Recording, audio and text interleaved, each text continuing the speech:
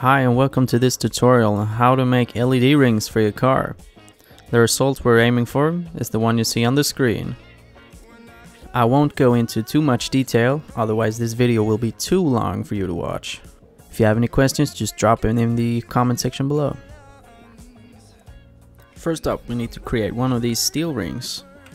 You create one of these by pushing a sheet of metal through two metal rollers, like you see here on the picture but the first one I did was made of aluminum and was hand bent so it's not really round but it still worked as a prototype. Alright let's start cracking. What we have here is a normal 16 inch rim. We have some weights that we have to take in consideration. We have some up here we have some down here and we have to consider that the rim also becomes narrower the more to the outside we go if we measure across on the big gap, there's 39 centimeters. And if we measure the inside radius, we have 18 centimeters. Now as you can see, I've already made a ring. And it fits snug. Now there's there's a small margin on each side. And since I live in Sweden, we use two sets of tires.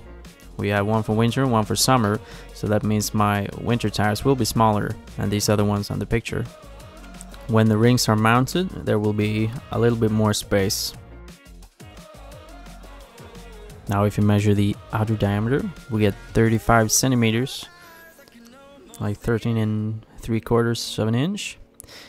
And if we measure the inner diameter, we get 33 centimeters or 13 inches, almost exactly. Alright, next up are brackets. These one I made very simply, which is buying a thicker sheet of aluminum and I cut them into pieces that I measured behind my brake disc and my brake shield so no they weren't too long or too short. I bent these into triangular and L shapes and as you can see here on the picture I've mounted the L shapes on the ring and before you mount them you have to make sure that you go out to the car and measure where you can put these brackets so you don't put them into your brake shield and there's something blocking it. Next up is a can of paint, or maybe two. Next up we need some rubber gloves. And we need some epoxy.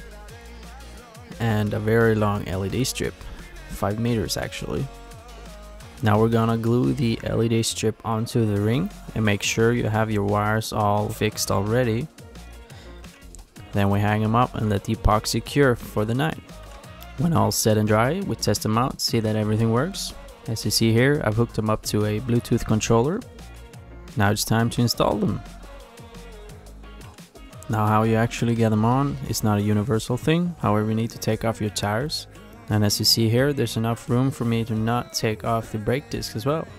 Then you have to pull the cables through the car from the LED rings. I recommend securing them with plastic strips or some kind of steel wire that doesn't rust. Here you can see I've hooked it up to my telephone through the Bluetooth interface and I can change to whatever color I wish. I can also make it flash in different patterns as well. Alright, final step is to put your tire back right on. You can also see where I put my screws in the brake shield to hold the LED ring in place. Now by day it doesn't look that beautiful, but you don't notice it that much and by nighttime, well, you'll just have to see.